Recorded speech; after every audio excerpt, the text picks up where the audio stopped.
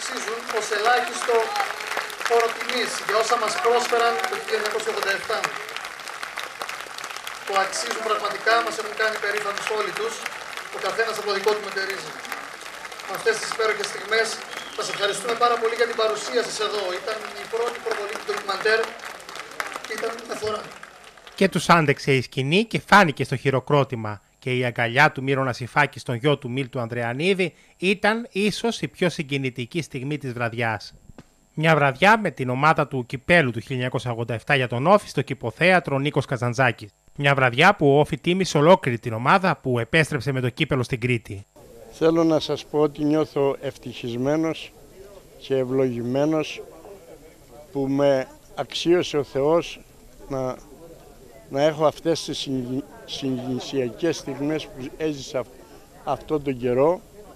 Δεν θα ξεχάσω ποτέ αυτή τη μέρα γιατί πιστεύω ότι είναι το σήμα κατά τεθέν για την ομάδα του Όφη.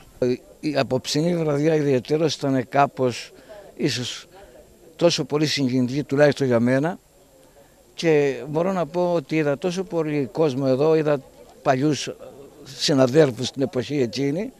Μας έλειπε βέβαια ο Ολλανδός, μας έλειπε ο, μας λείπει ο Θόδωρας, μας λείπει ο Ανδριανίδης και ο, ο, ο Γιαλαμάς. Ο κόσμος του Όφη πολύ γλίγορα θα ξαναγιορτάσει τέτοιες γιορτές και τέτοιες κατακτήσεις. Όφη σημαίνει συγκεκριμένα πράγματα, έχει συγκεκριμένες αξίες και αυτές πρέπει ξανά να αναδείξουμε γιατί αυτός είναι και ο μοναδικός τρόπος ε, για να φτάσουμε στην επιτυχία. Ε, επειδή εμείς βρεθήκαμε και παίξαμε κάποιοι από εμάς με αυτά τα παιδιά. Μεγάλη επιτυχία στο ότι κάνανε οι άνθρωποι εδώ πέρα. Συγχαρητήρια και στους ανθρώπους του Όφη που οργανώσανε και να γιατί σε κάθε τέτοια περίπτωση ήρθα και εγώ, όπως ήρθα και με τον Γκέρατ, ήρθα και κάποιες άλλες φορές, γιατί μου είναι αξέχαστες οι στιγμέ που πέρασα με τον Όφη και ειδικά με την κατάκτηση αυτού του κυπέλου. Ο Θόδωρας μας έδινε τα όπλα, ο Γκέρατ έβαζε τις σφαίρες και εμείς πυροβολούσαμε κατά ρηπάς. Δηλαδή ήταν όλοι σε μια κατάσταση ετοιμότητος και μια συνοχή που ήταν απίστευτη για τα δεδομένα της εποχής. Οι ατάκες του Νίκου Γκουλή πάντα ιδιαίτερες και ίσως δεν θα είχαμε μάθει πολλά αν δεν ήταν αυτό το ντοκιμαντέρ. Το ήταν μια φορά στο κηποθέατρο μάθαμε πως ο Μύρονας Ιφάκης είχε μυστικό στα πέναλτι την προσευχή της μητέρας του, την οποία του είχε μάθει. Αυτό είναι το μεγάλο μυστικό του τελικού και νομίζω ότι έρθει η στιγμή να το αποκαλύψω.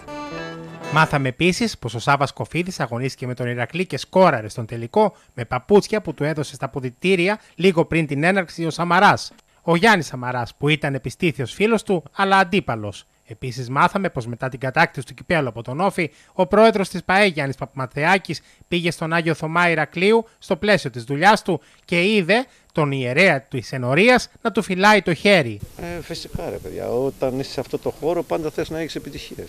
Όπως έχεις σαν παίχτης, θέλεις και σαν προπονητής, όσο ασχολείσαι με αυτό το άθλημα, ε, οι επιτυχίες είναι αυτές που σε κάνουν μεγάλο, που σε γιγαντώνουν, που σε ανεβάζουν επίπεδο.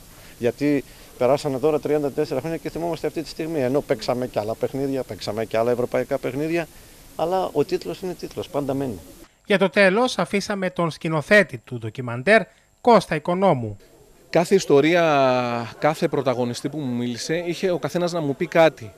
Ε, σίγουρα αυτό που δεν θα ξεχάσω με τίποτα είναι η συγκίνηση του Προέδρου κρατώντας το κύπελο ε, μισή ώρα που κάναμε τη, τη συνέντευξη που, που κινηματογραφούσαμε που ήταν βουρκωμένος όλη τη διάρκεια. Δηλαδή, ανατριχιάζω ένας μεγάλος άνθρωπος, δηλαδή, κοιτάζα το monitor μου εκείνη την ώρα που έγραφα και ανατρίχιαζα ότι είναι ένας άνθρωπος που θα μπορούσε να είναι ο παππούς μου. Πήγα τα δυο κύπελα και τα έβαλα το ένα από τη μια μεριά το μεγάλο και από την άλλη μεριά το μικρό στο Βαρδινογιάννη το Θόδωρα.